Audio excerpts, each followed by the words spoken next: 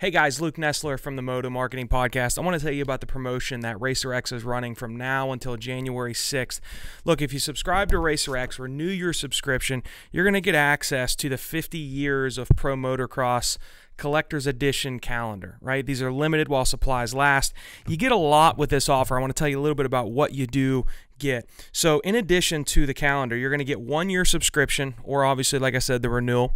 Uh, 2021 limited edition celebrating 50 years of pro motocross, a $25 Rocky Mountain e gift card, a digital subscription to RacerX for a friend. It's an $80 value. It's 30 bucks. Look, this calendar is, man, it's super cool. I'm flipping through. I've already seen photos of uh, Doug Henry. Um, we've got uh, Mark Bomber Barnett. Let's see, what do we got in, in March?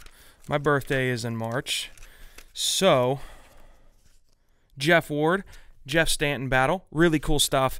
Um, limited edition. I've got one for the office. I'm going to hang it up right after this episode, and I encourage you to jump on it as well. Go to racerxonline.com forward slash moto marketing. Subscribe today. Hey, I want to tell you about Moto Brand. Moto Brand was founded during the 2020 COVID 19 pandemic when the sport that we live for was taken from so many of us, whether it's cycling or moto. Waking up on a Saturday morning knowing that your local track was closed, uh, there, there would be no supercross, and for many of us, that we couldn't even hit our favorite local riding spot or trail with our crew.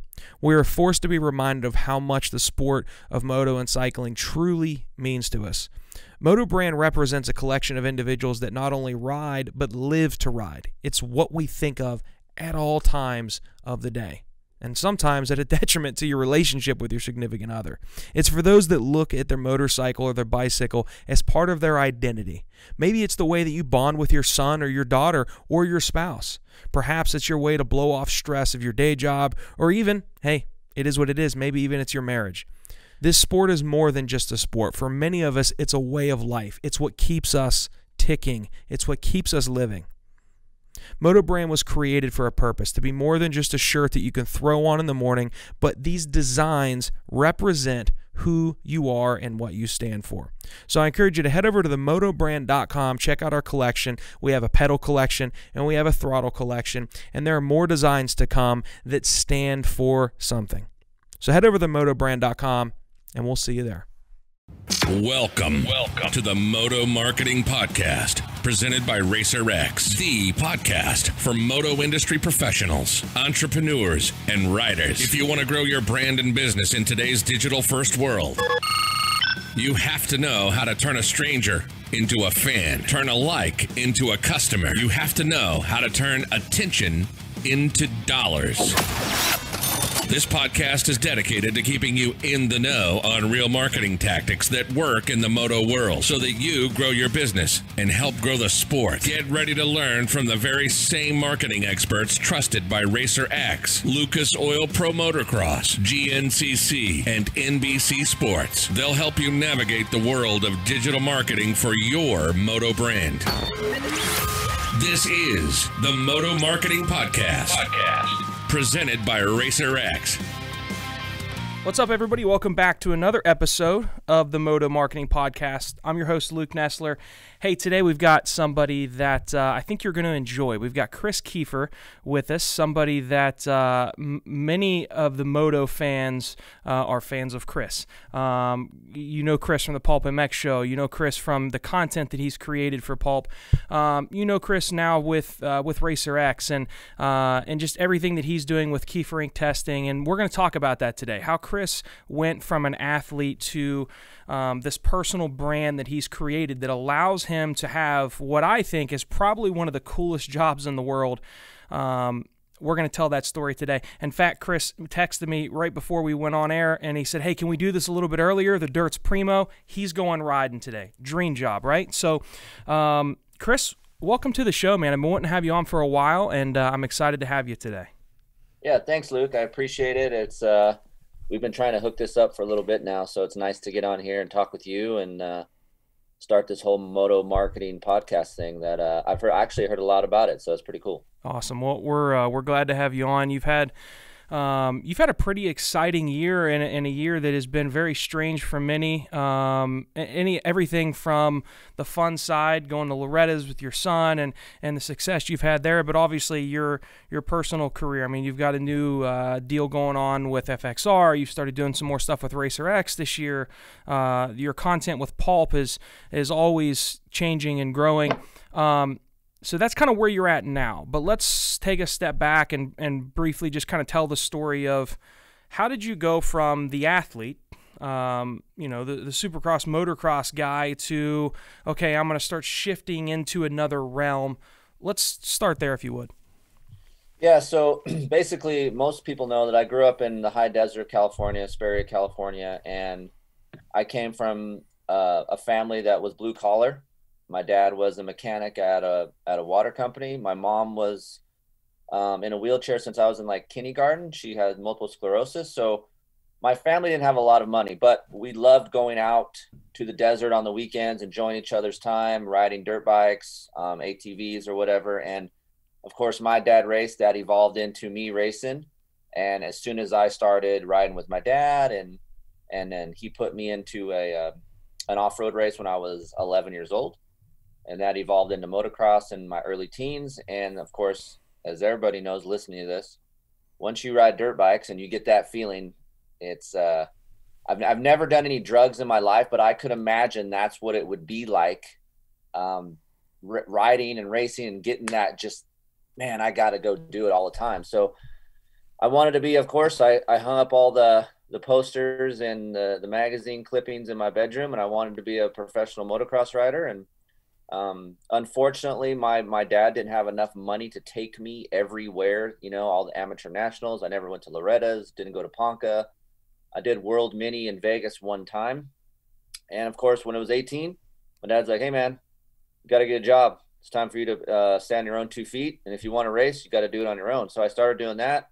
I turned pro early 20s, but it was just local stuff, right? So um, as time wore on, I, I started doing some supercross stuff, and I just noticed like, hey, I'm not gonna be a, a professional racer that makes money and uses it as my career. So how can I um, make my dream job if it's not racing? How can I be able to ride dirt bikes for a living and make a living? Right. So yeah. at the time, I was a, a shipper at Al Baker's XRs only. So you guys know what that is. Al Baker was one of the the head guys at Honda driving the four stroke movement. Um, he helped a lot with Mugen way back in the day. And um, Carl Kramer from Dirt Rider Magazine would come in there from time to time, and I would bug him all the time, Luke. I would be like up his ass every single time he was in there. Hey, do you need a test rider? Do you need a test rider? Finally, some test rider got hurt. I slipped into that spot. They liked what I was about, and that evolved me into being a magazine test guy, which evolved me into being a Yamaha test rider because Ed Scheidler at the time liked my evaluations. And so that right there kind of bump started me to be a test rider. So I knew, okay, I'm not going to be able to race. This is going to be my job. I want to be able to test and work and ride for a living. So that's kind of how I marketed myself in the early stages. I didn't really have Keefer Inc. I didn't think I was going to be some uh, media mogul at the time, but for me, I just wanted to ride dirt bikes for a living and and support my family. So that's how that kind of started. So with your work at Dirt Rider, when you were a test guy for there, um, your thoughts have to translate into content for for the site. Was it was it the transition similar to when you started testing for the manufacturers? Um, to where you just had a that that content whereas before it transitioned or the, the the feedback from the test transitioned into content before was it different how you had to relay that information for this new gig now when you're writing and testing um, for more than just a, a, a, media outlet? Was it was it very similar or was it completely different even though they both were labeled as testing? Yeah so for me just as well you know it's hard for me when i first started was to relate what i felt onto back then paper or you know on the computer so i'd had some help with chris dennison and some key guys and there was uh it was chris and there was another guy at yamaha terry beal who was really good at um, proofreading my stuff they kind of helped me along um, kind of articulate what i was trying to say and so the reader could easily digest it. And then um, I started getting better and better at it. I practiced that, and then as I went along, Dirt Rider just kind of I don't I don't want to say going downhill, but it just was like print was changing, right? Not a lot of people were buying print. I was told to say certain things that I didn't really believe in in the magazine world, like where like, you know, hey, we're some companies buying advertising. Can you test their products? And then when I test the product, uh, some things weren't great about it, and I would articulate that through my story or article, and they would change it. I would see it in the magazine. I'm like, wow, and that's. I almost felt like I was dirty or slimy, or I just didn't really like it, and that kept happening. And and I finally just said, you know what, I had enough of it. Um, I'm tired of doing that. I want to do it my own way. And if it doesn't work out, I'm moving to Colorado. I'll work at Lowe's. I just want to at least try what I was doing. And yeah, luckily, you know, at that time, I was still doing a lot of stuff for Steve at Pulp. And uh, he said, Hey, man, you want to leave Dirt Rider? You can come over here. You can write stuff for me. Um, I also think, you know, you should do your own, you know, website brand and just start your own testing company because you kind of already have a name with Dirt Rider. So that's how that started transitioning over to Pulp and Keefer Inc. So with with the start of Keefer Inc. was what uh, walk me through that because I, I I think that is one of the coolest things about your brand that you've created is you've literally you you now got to the point to where you found a way to make money writing obsessing over the little nuances and details of every single part and and and and communicating that back. Um, what was that was was that exciting? Was that terrifying? Were you numb to the entire situation? Like what was that like to where you made that leap and you're like okay i'm going to do my own testing program my own brand and take it from there? What was that like yeah it was it was all the above i was scared i was excited um, obviously you know i have a family i had to make some money and i wasn't getting rich over at dirt rider but i had a steady paycheck and chris dennison um, was the old editor at Dirt Rider. But once he left, like I said, something was missing over there, and he just said, "Hey, you should start your own deal." And I didn't believe in him. I was like, "Dude, there's no way it's not going to work." And finally, I just said, "You know what? I have nothing else to lose. I'll try it." I vividly remember driving home from the day I gave my two weeks at Dirt Rider, and uh, I was on the phone and I was crying to my wife because I was so freaking scared because Dirt Rider was my life for almost 20 years. Yeah. I was, you know, I was there, you know, being a test rider, then being an employee. So um, I got the website off the ground. And then for me being myself on the show with Steve, I just said, Hey, I want to roll that over into my testing. I want to be like me and you, Luke. We just got done riding. We're bullshitting on the back of the tailgate. And that's how I want to, for you reading the article to digest this stuff, right? Right we're motorcycle people. We're not polished human beings. We love going out. We love being outdoors. We love the feeling of the dirt bike. We love the sounds and smells. And I think all of us are wired the same way. So I just started my website and I just started typing articles on on things that I tested and and gave real feedback and how I articulate that stuff on my podcast or or even on my website is just like me and you sitting on the back of the tailgate and it's kind of caught on and and how I want to take my advertising and how to you know um, have some have some compensation of what I was doing. I just built it and, and this was the hard part for me is like how am I going to be able to stand on my own two feet, tell these people that are reading my stuff that I'm no BS and I'm not taking money just for the sake of taking money and then giving a good review. So I thought about it for a little while and I was like, you know what? I'm going to get a hold of these companies that I actually like, that I actually believe in, that things that I've tried that I know that work and see if they want to come aboard. And that's mm-hmm. how I built my advertising program is I'll try stuff before some guys, you know, will hit me up and say, "Hey, we want to be a part of your your show."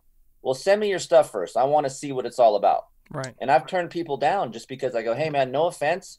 You need some work on your part. I'm not going to take your money at this time. If you want to, I'll help you evolve your part um, on the side. And then once it gets better, and if you still want to come aboard, then that's how I'm going to take the advertising dollars. So it um, saves the relationship. Fly Racing was the way. first one to, to do that with me, and I believed in the brand, and they just, yeah. you know, hopped on board, and then it evolves into more people. when we come back, I want to dive into that that business model because that that's one of the biggest questions I had, and I think it's super intriguing how you found a way to monetize your craft of of professional feedback on a product. Uh, when we come back, I want to dive into that. We got Kris Keefer with Keefer Inc. Testing, and we'll be right back. Hey, I want to tell you about our friends at Flex Racing. Flex Racing is a one stop shop for all custom designs and products that you need to look good at the racetrack.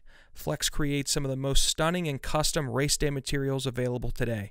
Designing and manufacturing products that help you represent your team and your sponsors. Products like custom pop up tents, table covers, chairs, umbrellas, bike graphics, bike mats, even gear bags. And I'm telling you, the gear bags, they're sick.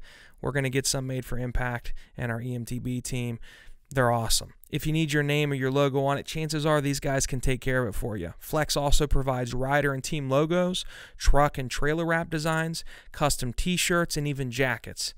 Not only are the designs killer, but my favorite thing, the prices right? They care about giving you the best possible price because Flex is entirely made up of riders and racers. They understand how expensive it is to look good and to be professional. So they've tailored the prices on all the products to be as affordable as possible to help privateers, big teams, small teams, everybody in between save the money that you guys need for things like travel, race fees, food, etc. They simply get it, right?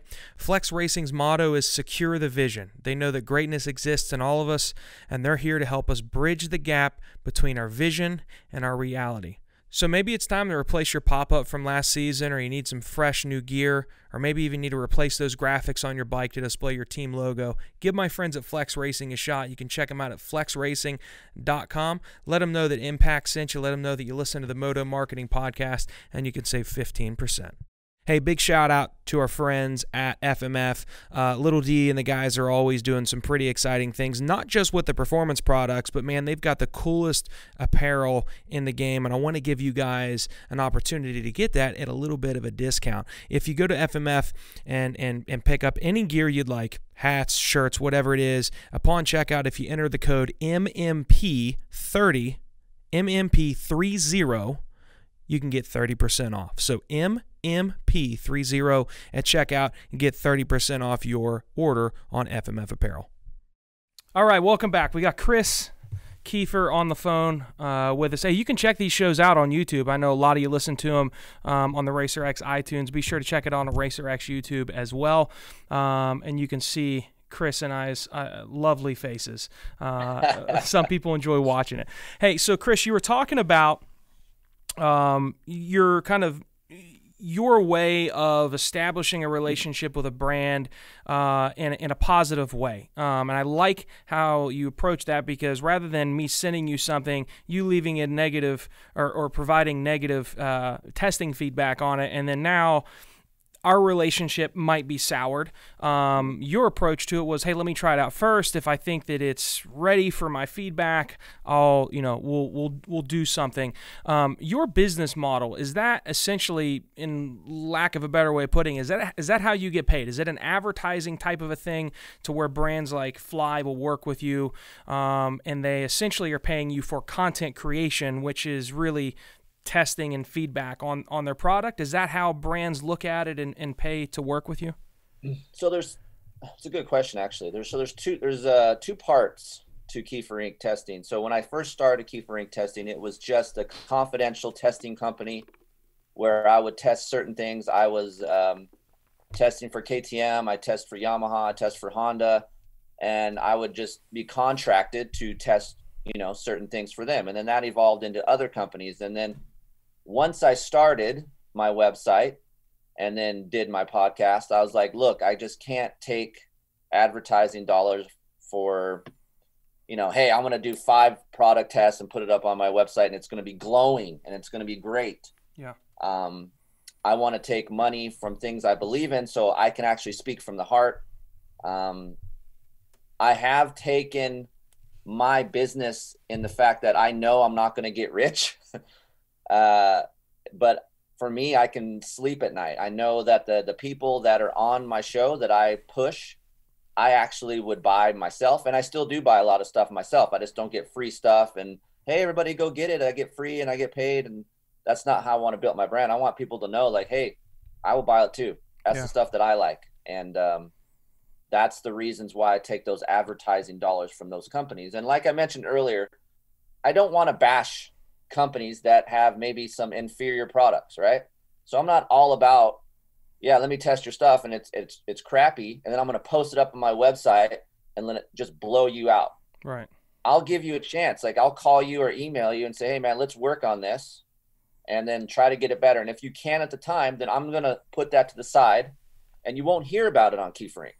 hmm But the other layer to this is um, when I started my own business, I knew there was something missing in the media testing world, which was um, human contact. Like you can't talk to Jody, you can't go up to Don. Like it's it's something that was missing. I felt like within our media testing world, like, hey, if you got questions, who you going to go to? Yeah, there's a there's Mhm. some information on a website, but what if you have something further? So I have an open door for my emails. People, several people use it, and um, I'll tell those people, hey, man, I did test that product. It wasn't good at the time. And I'll give you the honesty through the email versus Right. just saying, hey, man, here's everything crappy about this product. Everybody go read it. Yeah. You know, so Yeah. there, there's several ways to get the information through me. And if it's through me myself or through my website or through the show, there's just, I want to make sure people are spending their money wisely because it's expensive. I didn't grow up rich. I get it. Sure. Have you started to? I have a couple of questions about how, what maybe your son is is soaking up from everything that he sees dad doing. Have you started to introduce him into the Keefer, uh, the testing side of, of things to where you're letting him give his input of a young, uh, skilled rider that other young skilled riders might um, want to hear from? Have you have you started to bring him into that and let him see the potential that's there, and, and also leveraging him for additional content? I think the first thing I really do with Aiden, obviously he loves riding dirt bikes, and that's what I do, and we do it a lot together. Is I really, really try, and you can ask everyone around me. I really try to make sure he's a good human being first. Yeah. Because uh, that's the base of everything. I could be have all of this business, and I could be with Racer X and Pulp, but if I was shady and I was mean and I was stuck up, um, it just wouldn't work, right? So I just first and foremost, I try to get him to be a good human being, and then I tell him, "Hey, man, there's more to life than being good on a dirt bike." Uh, now, in this day and age, where you have to have more than just results, like you have to be able to help the company that's sponsoring you sell the product. Right. So it's just not like, "Hey, man, I want a race." People are going to go buy the product. It doesn't work like that anymore. There's so many good racers out there that don't have rides because they're not marketable. Right. So I'm trying to teach him to market himself through Keefer Inc. Like, hey man, this was a great avenue for you, a tool up here that'll be useful when you get older about evaluating, um, telling people how to communicate. So a lot of these life things that we learned growing up in, in school, I'm trying to help him along with communication, being a good person, being able to test, being able to evaluate, and being approachable to other people that are at the track. So these are all the things that I'm trying to encompass with Aiden as we ride, as we try to get better, as I try to um, create better technique, keep him safe. Yeah. It- it's a rough job, Yeah, Luke. doubt. man, I'm telling you, being a dad, it is gnarly. Holy crap, it's crazy. Well, that was that was actually one of the things I wanted to ask you and talk to you about is d- you know, do you think that educating Aiden on it's more than just being the fastest guy and getting a ride? There other ways now in a 20 19 20 20 2021 world to where you can make a living in this sport being more than just a pro we, we have uh, uh, he's actually a cyclist, but he's coming on after you for another episode. We've had him on once before. He's big into the moto space. Um, his YouTube name is Vegan Cyclist, and he's put out a bunch of content about getting sponsored. And he makes a living as a sponsored rider uh, with brands like Canyon and Whoop and, and all these other brands that they pay him to create content uh, to showcase their product, very similar to you. He he's making money as a cyclist and there's ways that i feel that moto uh, enthusiasts can make money even if they don't make it at the highest level. You see aj Catanzaro and ways doing it. I mean he he, he wouldn't be racing if it weren't for his schools. Um, do you think that uh, that is obviously important for Aiden to learn? Is that something that he's picked up on and you started to see the gears turning, maybe like Danger Boy has as well, to where he sees it's more than just winning Loretta's and then getting a ride and winning lights and going to the big class? Like, do you think he may it's opened his eyes to the potential of other uh, avenues? Yeah, I do actually, um, because Heather and I, we both really drive it home. Like when he walks out into the garage in the shop, that's not real life. Like, yeah, dad didn't have to pay for a lot of things that are in there, right? And if we did have to be a normal family that rode dirt bikes, there would be less than half of what is out there, right? Mm-hmm. So I just make sure he knows that you have to have a lot of tools in your toolbox to attract outside companies. You know, you just that's just the name of the game now. You have to uh you have to be relaxed. You have to be cool, kid. You have to be able to work with people. And you actually, and I'm sure you know this, you have to do more with less nowadays. Everybody at a job right now is having eight jobs versus just one, and you're making the same amount of money. Yeah. This is the way of the world now. There's there's just that's just how it is. And especially in our industry, you have to be good at a lot of things to attract a company from the outside back in the day 15 20 years ago you could just go win races and they would come to you. Hmm. and i think some of that is missing in our industry too is like kids families assume hey my kid's awesome. He's ripping he's winning amateur nationals. My phone's going to ring. That's not the case. You have to be proactive. You have to communicate. You have to walk up to these sponsors and manufacturers and go hey here's what we can offer you. It's not about what you can do for me but what can we do for you? Like Right. I'm really big on that. Like when I first started with Steve, he always gave me crap. He's like, "You hate money. You hate money." I'm like, "Why?" He's like, "You never take any of my money." I go, "I just want to establish myself and do this for free. I'm going to show you how hard I'm going to work, and then if you feel like I'm worth it, then you'll pay me eventually. But right now, I want to show you what I'm about. Yeah. So I will bust my ass first to show you, and then I'm sure I'll get rewarded on the back end. So that's to make this shorter. I just think having Aiden, I need to teach him that more. Like you got to have a lot For of sure. things in your toolbox to make your life better. Yeah. As we as we start to wrap things up, there's two other topics I want to touch on, and one is pulp, and the, the last one is I want to I want you to talk a little bit about the new relationship you have with FXR. So with pulp, because that is how I don't know. Several years ago now. I got turned on to you and your brand, and just the just the way that your your personality. I mean, you're you're the same guy on pulp as you are in in real life. So I would uh, assume. Um, and, and it's just I resonated with you. So then everything that you would say, I would I would really it, res- would resonate with me because it didn't come off as you know he's trying to uh, push this message because he's getting paid to do so. You did it in a comical way. You did it in a truthful way. It was the reason that I bought a uh, YZ450 was your just your honest reaction to that bike. And so I started to listen to you more, and then listen to you more, and then it's just I, watching your evolution of your brand on Pulp from what it was three years ago to what it is now is man it's it's something special the whole pulp empire what you guys have all built is the complete not the norm at all of what a professional Yeah. media outlet looks like in other sports but it works so well in moto Right. talk to me eh, there's so much that we could cover with just pulp but just talk to me a little bit about your thought on what pulp has meant to you and done for you and just the fun you've had with that brand what does that look like over the years for you Wow. Uh, Steve won't- a lot to Steve unpack. watch this, so I'll Yeah, tell. right. I'll tell you. Uh, I, I mean, I tell him at least once or twice a year, and and I like to. I'm a very good communicator. I like to tell people how I feel, and I'm and I'll tell you, Luke, that probably if it wasn't for Steve and having me on the show way back when, even when I was that dirt rider, I was still on the show.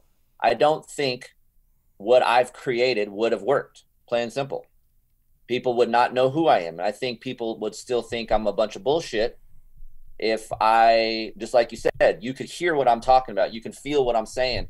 And if, and if Pulp wasn't around, I just don't think anything would have worked. So I owe Steve a lot. I mean, I would say I would I owe Steve 80% of what's going on in in my business, in my in my life. So uh for me, Um, I think it's a it's a great tool for fans to get to know not only the riders, but people get to know Steve, good or bad. People get to know me, good or bad, or the co-host that went through there, you know, many many years, and it, it ties all of us in closer together as fans because you're a fan, I'm a fan. Um, just like I mentioned earlier, we're just we're all wired the same way as dirt bike people. We just love riding dirt bikes, and when all of us can get together and talk about it, it's fun. Yeah. And then you and then you I get to be myself, and people think, ah, Keefer's weird. He's a weird dude, but it's fun, right? Um, yeah. Steve's a weird guy, but it's fun. You know, Kenny. You guys seem like you're having fun on on that show. Like I know it's. I mean, that is Steve's business. That's his everything.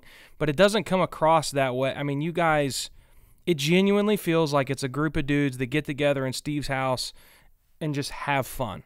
Um, yeah, Luke. So we never, like, when I get there, I get there a couple hours, and we may talk about who's on the show, but it's never scripted. Like, we never yeah. have anything like, "Hey, we're going to do this." Like, it's basically Steve and I bullshitting, and we have some guests on, and and some I know, some I don't, but yeah, it's just yeah, we're just bantering back and awesome. forth. It's fun. What was that first conversation like to where you guys decided, hey, we're gonna do this thing called Keefer After Dark? I've always wanted to know that. I stepped away from the sport for like three or four years when I was building this business. I was in like some dark shit and yeah. wasn't having fun with the clients we were working with. And finally, I got back into it and I was like, I just binge listened to the last like two years of of Pulp. and I remember the first time I heard Keefer After Dark, I was like, what like what in the, what just happened? And it was right. the greatest thing ever. Where did that idea come from? Was it a joke that became a reality? Talk us through that. Yeah it was actually a joke. Steve was like oh man we're going after dark again. Like i just have a lot of um i guess I, i'm just very open. And i think the sexual stuff that we talk about on the show i think a lot of us can relate to. Like i've made mistakes that way. I went other directions. I've been hurt. I've been happy and I'm just very open with my life. So, um, and like I said to you earlier, I, I love to talk. I'm not the normal dude. Like usually guys don't communicate with their women. They're like, oh, my dude never talks to me. This just doesn't listen to me. And but I'm the opposite. Heather's like, you gotta shut up. Like I don't want to communicate right now. So for me, to be able to talk to people that have problems with um, relationships or whatever, I love it. I just love helping people, and I think that comes from again, my mom had multiple sclerosis and I took care of her for many years. So I have that nurturing quality inside sure. of me. And for me, it feels good to help people. And yeah. it feels good to have a little self um, deprecation because I went through, I've done so much dumb crap and people out there can relate to it. And I like that, you know? Yeah. So, yeah. It's, it's, uh, anytime you're on, I'm like, man, I hope they do After Dark afterwards. It's it's it, it definitely makes it's the cherry on top for sure. All right, last thing, um, FXR. I, I was surprised and delighted at the same time to see that you are you have this opportunity, and from what I've heard, and we'll kind of confirm if it was a rumor or not you it's more than just you testing the gear. I, I believe you're going to have the opportunity to, to have a hand in designing, um, you know, a line in, in within FXR. Uh, so where did where did that relationship come from? What are some of the things that we can look forward to, you know, in the months and years to come with with FXR and your relationship? Yeah, so uh, Fly, like I said, Fly was the first one to get on my show when I left Dirt Rider. I owe them a lot. Um, I still love WPS, the company. They're all great people. Um, previously, um, I raced up in Canada for KTM North um, KTM Canada, and Andy White was the my team manager for several years up there, and um, I got to know Andy. Andy went over to FXR, and I was a fill-in rider for the MX 101 team in 2000. I want to say 2015 and I wore FXR gear. And I started talking to Andy when he was there, and he wanted me to wear it in the States because not a lot of people were wearing it and I met the owner Milt. And I just kind of created a relationship with all those guys. And, you know, we would do brochures and things down here at my house and we would shoot photos. And um, they weren't able to, at the time, join, you know, my show. But as the years wore on, um, they kept pressuring me and pressuring me to say, hey, we'd like to come back on. And just like you said, um, after long deliberation with, with JT and Max at Fly, and I just said, hey, man, I get to uh, create my own line of gear I get to design and help uh, the gear evolve to make it better. and I just wasn't able to do that over at Fly because there's such a larger company, right? Um, FXR's smaller company. Right. I can work with the designers and the owner directly, and as you know, as we talk about in this in the show, is I like helping things along. I like creating things. I like making things better. That fits with Inc. testing. So it just made sense that I went back to FXR, and um, yeah, I think I want to say end of March, early April, there'll be a, a Keefer Inc. testing designed colorway and nice. gear. So that was one of the huge reasons um, that I went over to FXR and we we got a two year deal worked out and it's uh it's fun. I, my son's in it, I'm in it. It's like a family atmosphere. All these guys and I'm on Zoom calls with those, those dudes twice a week. You know, helping the gear along. So it, it's a it's a fun family thing. You're probably the only non pro supercross motocross athlete that has a gear deal and a line of gear coming out and if that doesn't speak volumes for what what is possible with creating a brand creating a following content creation that people seek out um, then I don't know what is because you've got again you've got the coolest life. You're going to go ride now. Um, yeah. you got gear coming. I mean, it's just it's it's endless, and it all comes from your personal brand that you've built.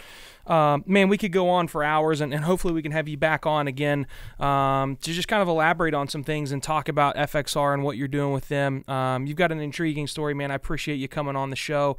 Um, for those that don't know all the channels that they can follow you on, uh, if you would quickly share what are some of the channels you're most active on that we can get your content from?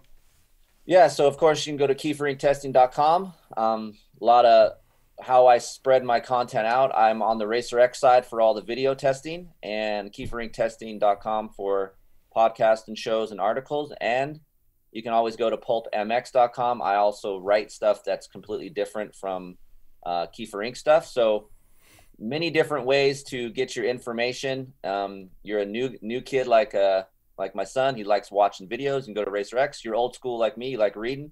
You can go to Keefer Inc. or Pulp. And of course, Luke, podcast is the way to go now, no right? Doubt. So uh, absolutely, you're out, you're out, you're driving. You can listen to the the Keefer Tested podcast on iTunes. Awesome, Kris. I appreciate it, man. It's uh, it's been a pleasure having you on, and uh, hopefully we'll we'll see you at the races this this uh, coming year. If we can get some normalcy back in our lives, I think we'll all be stoked about it. Man, I'd be really happy to get everything back to normal again. That's right. All right, Kris. I appreciate it, man. Thanks, Luke. See ya. Thank you for listening to the Moto Marketing Podcast. If your goal is to get real, measurable results from your marketing that will grow your company revenue, then check out how Impakt Media can get the same results that they have for Moto's most iconic brands by visiting thinkimpakt.com. That's T H I N K I M P A K T.com. Have a marketing question that you want answered on the show? Send your questions to questions at motomarketingpodcast.com. Don't forget to rate, review, and subscribe to the podcast. And we'll catch you on the next episode of the Moto Marketing Podcast.